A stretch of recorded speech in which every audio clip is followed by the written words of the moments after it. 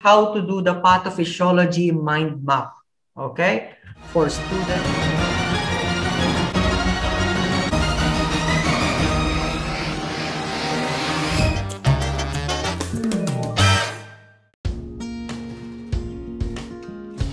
This is the systematic study of the disease process. How the disease progress from its cause down to its signs and symptoms and complications.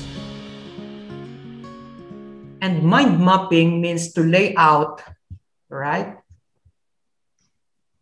To lay out and to sort out concepts about the topic. So you're going to lay out and sort out the concepts about the topic. For example, today is ischemic stroke. So all the concepts pertaining to the disease, all right? The causes, the signs and symptoms. Then you're going to present relationship among the concepts. How does it proceed? Sequencing the cause and effect relationship, all right?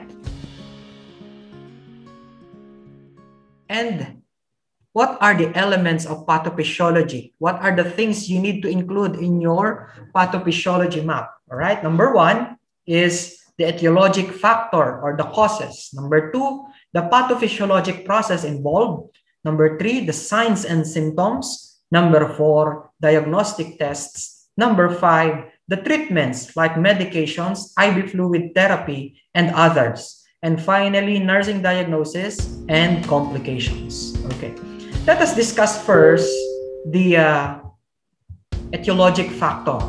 Etiologic factor, this is the cause of the disease, okay? So we have first the predisposing factor, okay? And the predisposing factor, it pertains to the inherent factors in the person, all right? Like number one, the age of the person, all right? There are some diseases for example, the older the person, the more he is predisposed to a certain disease. Or it could be the other way around. The younger the person, the more he is predisposed to the disease. All right. Number two, the gender. Different diseases have different uh, gender predisposition. All right. Male might be predisposed to certain types of diseases which is not common for female and the other way around. Family history. Certain uh, familial predisposition runs. For example, a patient who have family background of hypertension. Okay, there is a more increased risk for a certain person belonging to a family who have hypertension as its familial predisposition. The sec the, the fourth one is race. Race means to say it could be the Africans, Americans, Caucasians. Even obesity is part of the pre predisposing factor. And the other one is the lifestyle of the person. Lifestyle like lifestyle. having a sedentary lifestyle. Again, the key word for predisposing factor, it is inherent. Yani, it is within the person himself. Okay? Now, what you have to do, you have your medical surgical nursing textbooks and you have the literature in the internet. Okay? You can read something about the predisposing factor of ischemic stroke, but in the concept map that you will be required to do, you, you will only include the ones present in your patient you can check out the history of the patient and the demographic data of the patient. This is where you can find the predisposing factor. Okay. The second one is the precipitating factor, which means that something that triggered the problem. For example, is stress. Okay. A person under stress might develop a lot of diseases. Okay. So stress can be a factor, correct? Next, when the person is having weak immunity, non-compliance to treatment regimen. For example, the diet of the person, she was previously advised by the doctor on low salt and low fat diet, but she did not comply with it. Or non-compliance to medication. Fourth one, pre-existing disease. Maybe the patient already have high blood pressure, diabetes, heart diseases, heart attack or stroke, chronic respiratory disease, or cancer. And finally, certain uh, allergen, allergens to food, to environment, and to other substances.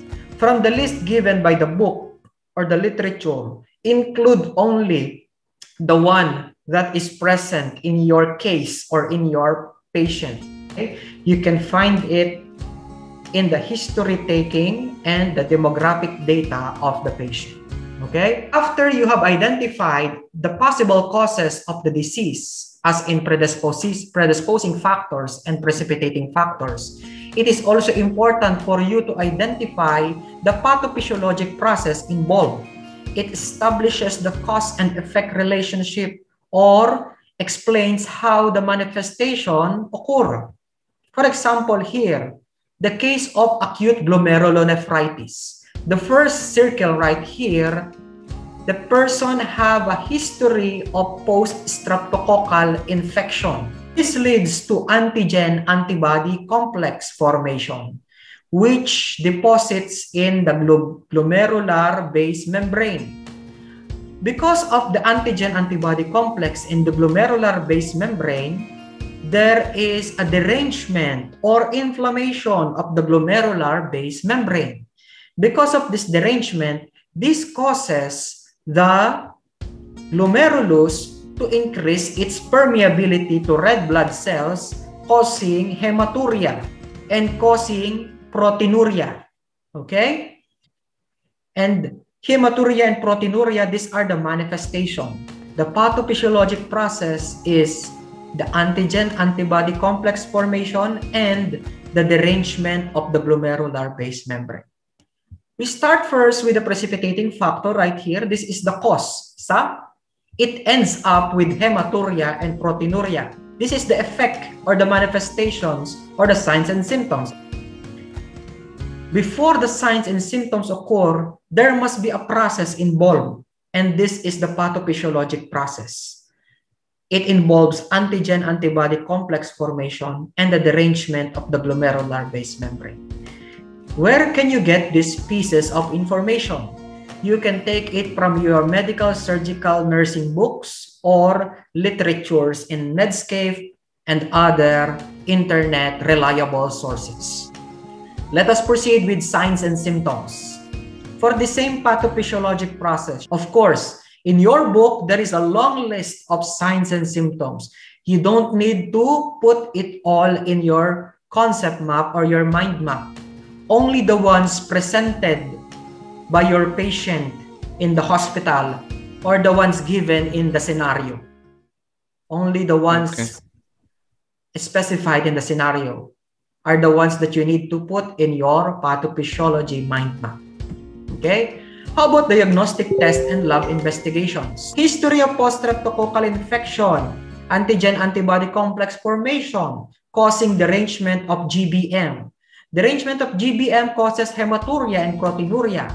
The hematuria causes depletion of red blood cell level, causing pallor and syncope, and causing tachycardia and tachypnea. Okay, look here. Hematuria and proteinuria can be confirmed using which laboratory investigation? It is urinalysis. Okay? Depletion of red blood cells can be verified by using complete blood count examination, correct? So this is how you affix the diagnostic test or laboratory investigation in your pathophysiology track. You may want to involve or use different shape or different colors. Okay? Next for the treatment. All right?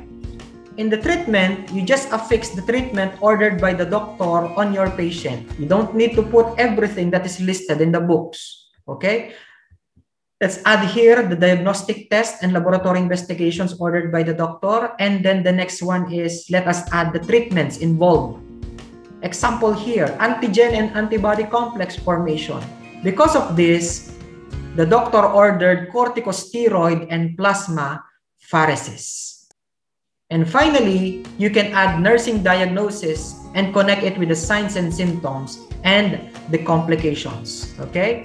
From the different uh, signs and symptoms, you can further connect it with nursing diagnosis. For example, depletion of red blood cells, pallor, syncope, tachycardia, tachy ineffective tissue perfusion.